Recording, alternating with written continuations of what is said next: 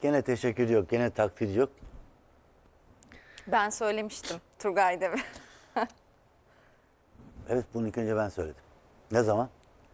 Tokat olayı oldu. Tonla Hoca ile konuştum. Sonra Aspor'a bağlandım. Dedim ki olay çok fazla büyütüldüğü gibi değil. Bir tokat olayı var. Ama maçın gerginliği içinde var fakat. Ama dedim benim maçı izleyen başka bir Galatasaraylı dostum aradı. Dedi ki Markao'nun psikolojisi kesinlikle bozuk.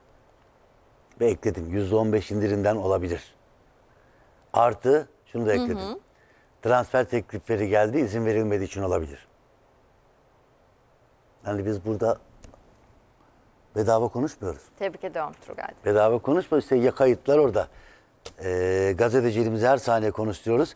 O gün o maçı izleyen herkes dedi ki ayarı bozuk. Hatta şeyin babası açıklama yaptı sonra. Dedi ki oğluma resmen tokat attı dedi. Çocuğun babası. Bak ee, bu tokat milli takım büyütmedi. Ben anladım şu. Milli takım büyütmedi. Hani İngiltere milli maçı var. Ama Galatasaray bunun hesabını sorması lazım. Milli forma giyen önce tokat atılmaz. Milli takım büyütmedi. Olayı e, tatlıya bağlayarak hadi uzatmayalım olayı çok sertleşti. Teşekkür ederek ayrıldık etti Tolun Hoca. Bunların hepsi doğru. Ama tokat olayı var. Hakem neden kartına başvurmadı? Hakem neden raporuna yazmadı? Evet. Kartını boş ver. Rica etmişlerdir. Rica etmişlerdir. Ama milli oyunca tokat atmak kimsenin haddi değil. Markanın da değil. Benim Markan'ı ne kadar beğendiğimi Evet, izleyenler evet, bilir. biliyorum. Değil. Hepimizin ayarı bozuk. taraflı tarafsız e, her futbol severin ülkemizde Markao'yu ne kadar performansını beğendiği Çok yetenekli bir adam. Markanın ruh hali bozuk diye o gün bana- ben bilmiyordum onu. Ben sadece şeyi araştırıyordum hani ne kadar Olay ne kadar olay diye.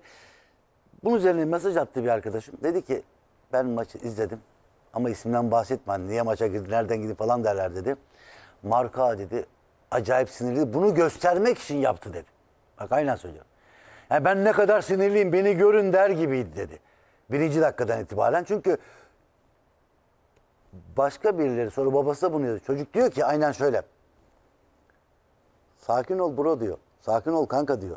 Sadece dostluk maç oynuyoruz. Dirsek atıyor çocuğa şeyde daha hava topunda sert gidin çocuk diyor ki, sakin ol kanka diyor. Alt tarafı dostluk maçı yapıyoruz diyor. Onun üzerine tokat atıyor. Yani olayda bir tartışma da yok. Agresif bir tavır da yok. Federasyon kanadı bunu hani milli maç var. Çocuğu polemiklerden uzaklaştıralım diyecekti ama eee Galatasaray'ın bunun hesabını sorması lazım. Milli forma giyen adama tokat atılmaz. Evet. Senin kendi sorunun seni ilgilendirir. Ve Marco'ya dikkat etsen Marco'ya Galatasaray lig, ligde de eksik bırakabilir. Çünkü eee psikolojisinin bozuk olduğunu maçı izleyen bir iki kişi bana çok net olarak söyledi. Yani enteresan bir durum. Ee, özellikle Markao'nun hani Galatasaray'da böyle bir... Peki şunu sorayım Turgay abi. Ee, takımda bir işte 3500'ler alan var. Bir de işte 850 bin euro Markao gibi. Ee, Feguli, Belhanda'ya yine dönüp dolaşıp geliyoruz ama onlar takımın en yüksek alan e, futbolcuları. Onların maaşındaki %15'lik indirimle Markao'nun maaşındaki %15'lik indirim aynı olmayacaktır kuşkusuz. E, bunu acaba bir denge getiremez miydi Galatasaray? Şimdi insanoğlunun büyük bölümünün karıştırdığı bir şey var. Eşitlik, adalet. Eşitlik adalet değildir. Eşitlik her zaman iyi bir şey de değildir. Örneğin bizden bahsedelim. Evet. Sen, ben 20 kişi bir yerde çalışıyoruz. Burada olduğu gibi bir yerde çalışıyoruz. Birimiz hakikaten canlı dışına takıyor. Gecesini evindeyken bile sağ solu zorluyor. Her şekilde katkı yapıyor. Bir tanesi de bana ne ben giderim, işimi yaparım. Yani bir tarafta harbiden kurum için çok uğraşan insanlar var. Bir tarafta da ya bana ben işimi yaptım diye. Sen eşitlik diye hepsine aynı ödülü verirsen bu eşitlik olur ama adaletsizlik olur. Bunun çok güzel bir resmi vardır. Baba, büyük oğul, küçük oğul bir duvardan maça bakmaya çalışır. Baba zaten görür. Büyük oğul zorla görür, küçük oğul hiç göremez. Sen hepsine aynı sandalyeyi verirsin. Baba gördüğü maçı 10 kat daha iyi görür. Büyük oğul gördüğü maçı 10 kat da küçük oğul hala yetişemez. Eşitlik var. Adalet yok. Adalet nasıl olacak? En küçüğe en büyüğünü vereceksin. Ortanca ortanca en büyüğü en küçüğünü vereceksin. Emek olarak söylüyorum. Burada da şimdi Belanda'ya yap, Belanda'dan indirim istiyoruz alamıyorsun. Marka gibi performans veren adamla indirim istemeye bile Üstelik utanmalısın. maaşında zam bekleyen yani yaşadığı hayal kırıklığı Marka'dan indirim istemeye utanır insan. Bak samimi söylüyorum. Belanda'nın vermediği yerde markadan indirim istemeye insan utanır. Aldığı paralara bak. Sağdaki görüntüye. Bir tanesi senin en iyi oyunculardan biri. Marka. Öbürü her dakika sana sıkıntı çıkarmış. İndirime razı olmuyor. Ben ne yaparım biliyor musun? Markaya zam yaparım. Belanda'nın indirimi kabul etmedi. Ben markaya zam yaparım. Orada büyük bir strateji hatası var. Fanatik gazetesi de demiş ki şimdi Markao'nun mevcut durumundan yola çıkacak olursak Fanatik gazetesindeki başlık da şu şekilde ikisi de Ocak'ta imzalıyor. Fanatik gazetesinin 9. sayfasında Galatasaray'ın devre arasında ilk operasyonu iç transferde olacak. Muslera ile daha önce prensipte anlaşan yönetim Uruguaylı kalecinin ücretini indirerek 2 yıllık yeni mukavele imzalayacak. Markao'nun da kontratı 2024'e kadar uzatılacak. Avrupa kulüplerinin peşinde olduğu Brezilya stoperin senelik 850 bin euroluk maaşında da zam yapılacak. Şimdi iki farklı haber Turgay abi o yüzden değerlendirmeni istedim. Ben sana bir şey söyleyeyim. Sen buraya yaz o gün gelince gene bizi övmezsin, Ne yaşanacak? söylemez. Marka imza atmaz. Asla atmaz. Hele şu tavırdan sonra Mehmet'in atmaz. haberinden sonra ben de Atmaz. atmayacağını düşünüyorum. Atmaz bu kadar basit. 850'yi ne yapacaksın? Bilemediğin bir buçuk yapacaksın. Niye atsın? Adam öbür taraftan 4-5 teklif alma durumu var. Alıyor da zaten bu teklifleri. Sen biliyorsun, menajeri biliyor, marka bilmiyor mu? Markayı unut. Galatasaray markayı daha burada kaybetmiş. Ya verdiğin paraya bak, istediğin indirime bak. Belanda ile Feguli'ye bak. Adam insan utanır ya. Adalet terazisinin ayarını bozarsan sonrasında yaşanacak hiçbir şeyden sorumluluktan kurtulamazsın. Hepsi oradan başlar. Adalet mülkün temelidir. Mülk dediği devlet. Devlet dediğin orada takım. Takım da bir devlettir. Onun ayarını bozarsan o devletten hayır gelmez.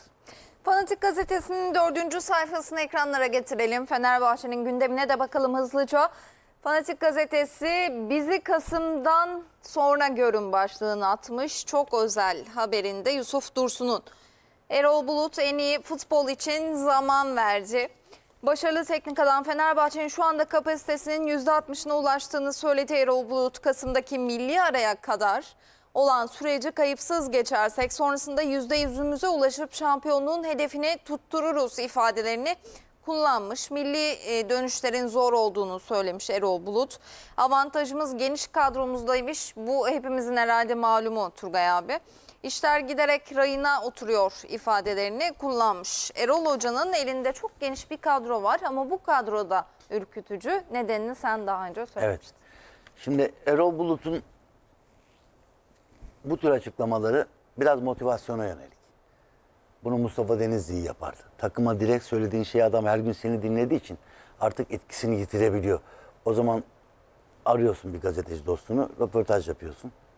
Oradan veriyorsun mesaj daha etkili oluyor. Ya da televizyona çünkü artı bir süzgeçten daha geçip sanki o gazeteci ve o gazete tarafından onaylanan bir şey haline geliyor. Etkiliyor. Sihri artıyor yani olayın.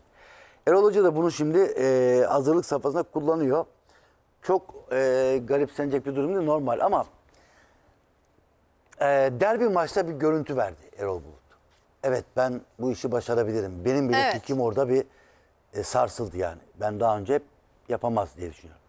Yine altını çiziyorum. O görüntüyü devam ettirmesi lazım. Çünkü kalabalık ve kaliteli birden fazla alternatifli olan kadrolarda asıl sorumluluk hocaya düşer. Herkes oynamaya hazırsa. Herkes oynamaya hazırsa hoca çok sağlam durması lazım. Oynamayanı küstürmemeli. Oynayandan tam performans almalı. Rakibe göre sistem, rakibe göre oyuncu seçmeli. Akşam mesela Almanya'ya uygun gelen Efecan Rusya'ya uygun gelmedi. Bunlar çok önemli. Fenerbahçe'nin Kasım'a kadar süre istemesi kadar garip bir şey, şey, doğal bir şey yok. Çok yeni bir takım. Herkes yeni. Evet. Bekleyeceğiz sabırla ama her hafta üzerine koyarak gitmesi lazım. Oraları çok az kayıpla geç